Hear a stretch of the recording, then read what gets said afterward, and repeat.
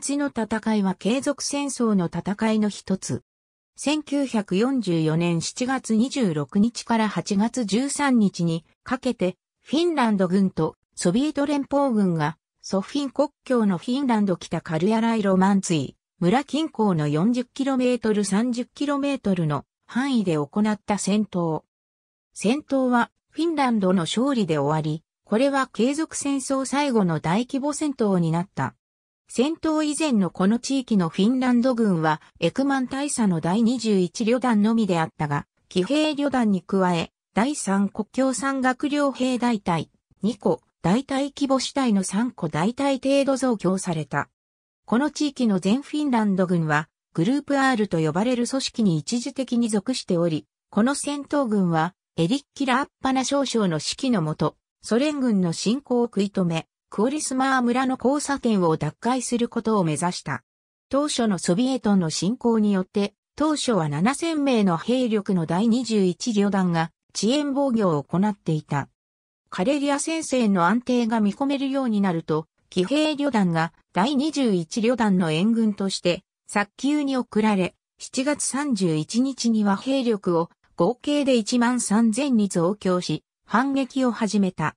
キリル・メレツコフ中将のカレリア戦線軍は、第32軍ゴレレンコ中将のもと、ザラターゲウフ大佐の第176師団とザーヌア少将の第289師団の2個師団でイロマンツに向けて進行していた。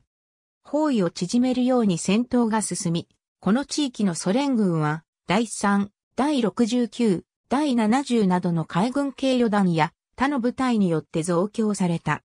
ソ連の情報によると、カレリア地境の構成の開始は1944年7月21日であり、ソ連第32軍の第176不評師団と289不評師団の合計はおおよそ1万6千人であった。7月31日、イロマンツ地方でのフィンランド軍の反撃が開始された時、双方の合計戦力は1万1000人に減少していた。包囲された176、289師団を支援するソビエト第3海軍不評旅団、第69、第70海軍狙撃旅団の増強で、ソビエトのイロマンチ付近での混成不評戦力は2万人よりわずかに大きくなった。カレリア地方1944年7月21日までの初期にはソ連軍の攻勢は成功しているかに見えた。ソ連軍の部隊は1940年のソフィン国境の越境が可能と考えられており、これは継続戦争勃発以降ソ連軍の構成全体で唯一のタイミングであった。フィンランドの援軍は7月28日に到着し、ラーッパナ少将は31日には反撃を開始した。ユトリオ地域は防衛計画で中心的役割を果たした。森林戦に慣れた騎兵部隊の快速大隊が湖の間にあるこの地域を通ってこの地域に攻撃側のソ連軍第289、176師団の間のくさびのように割って入った。開幕戦はフィンランド第6系不評大隊が勝利を飾り、その後、レモンダーソとルーシコバラ丘陵で包囲に反抗して向きを変え、ウーシマー騎兵連隊が隣接する第1系不評連隊と共に、ユトリオ地域とルーキンポーチャ、川を越えて攻撃を行った。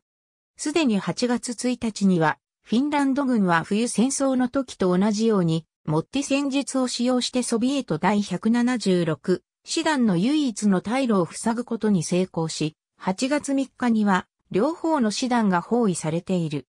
ソビエトは新たに気候支援の下で3個旅団を展開し道路を確保、会議を行おうとしたが、フィンランドの奮戦によってこれは回避された。フィンランド人の包囲の気をそらすための新たな攻撃が行われ、その機会に包囲されたソ連軍師団は重機などの兵器を放棄し、森を通ることで何とか包囲から離脱することができた。フィンランド軍に比べて優勢なソ連軍が包囲された衝撃によってソ連軍は特に森林地域で会議を行う望みを減らしており、包囲されたソ連兵の多くは8月10日までに味方側に向けて逃亡した。ソ連軍の日個師団はフィンランド戦線最後の主要行動で大きく戦力をそがれ、ニコ師団の残党は、崩壊前に包囲から抜け出しから応じて逃げ出した。軍事視野は2個のソ連軍師団は、戦いの中盤にあたる1週間経過の時点で3200名の戦死者を残して敗走し、さらに多くが負傷、行方不明になったとしており、100を超える銃砲、ほぼ100台近い車両、その他のソ連軍兵器をフィンランド軍が露獲したとする。イロマンチの戦いでの指揮の素晴らしさは、エリッキラ・アッパナの名を一躍高めた。イロマンチの森にいるゲリラシタイラ・アッパナ軍は10日でイロマンチのソビエト軍を狙って3万6千を超える砲弾を撃ち込んだ。これに対し同時期にソ連のイロマンチ参加砲兵は1万発の砲弾しか使えなかった。主な理由としては、フィンランドの輸送妨害戦術による砲弾の少なさがあるとされる。例えば、兵器日課連隊率いるシッシュゲリラ死体が30台の輸送トラックを破壊している。ソ連軍の攻勢が始まった6月以来、フィンランド側は9度目の防衛勝利であった。モスクワのソ連軍部はフィンランドが戦いの要衝を抑えていることを理解した。戦闘の後、スタッフカは攻勢を停止し、フィンランドへの無条件降伏勧告を諦めた。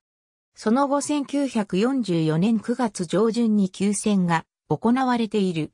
フィンランド大統領、マウノ・コイビストは1994年の8月に、イロマンチの戦いで勝利してから50周年の祝賀会として、北カレリアの予演数で行われたセミナーで語った。彼はこの戦いをグリーンベレーに入ったことで有名なラウリトルニ隊員の率いる偵察隊兵士として見ており、次のように述べた。1944年の夏、赤軍は攻勢を開始し、フィンランドの排除を狙った。